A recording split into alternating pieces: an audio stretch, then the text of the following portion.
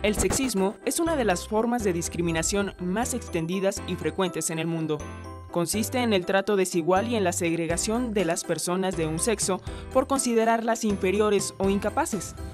La discriminación sexual sucede de múltiples formas y en todos los ámbitos de la vida social, en el trabajo, la casa, la política, los medios de comunicación y por supuesto en el lenguaje. Las lenguas reflejan las visiones y concepciones presentes en las sociedades. Estas suelen establecer una diferencia social entre los sexos que se transmite a través de los significados asignados a las palabras, las expresiones coloquiales, las imágenes y los códigos gráficos.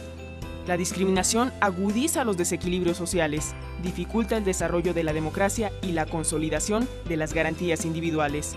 Por ello, el derecho a la no discriminación fue reconocido en 1948 por las Naciones Unidas como una condición indispensable para la protección de los derechos humanos.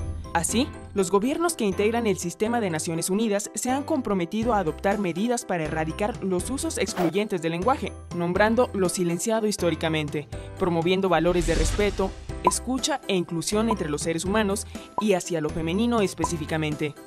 Sin embargo, en el español el masculino es el género no marcado. El género femenino no puede ser usado para generalizar dentro de un grupo mixto.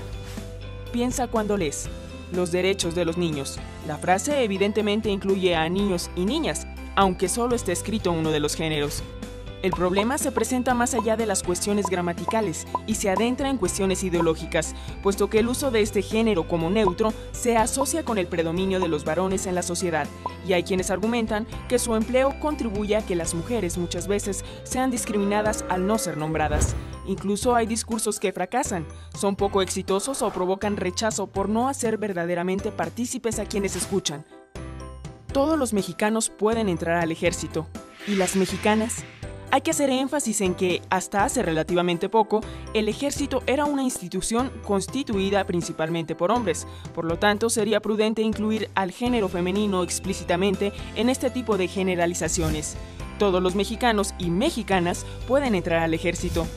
Debemos tomar conciencia de que el lenguaje tiene que estar al servicio de la colectividad, abierto a los cambios y tener en cuenta nuestras necesidades de expresión de pensamiento y de comunicación. Las lenguas se transforman. Tienen que hacerlo porque la realidad está en un constante e inevitable cambio. Las lenguas mueren cuando se encierran en normas inflexibles y se quedan por detrás del presente, porque entonces no nos sirven para entendernos ni para entender el mundo.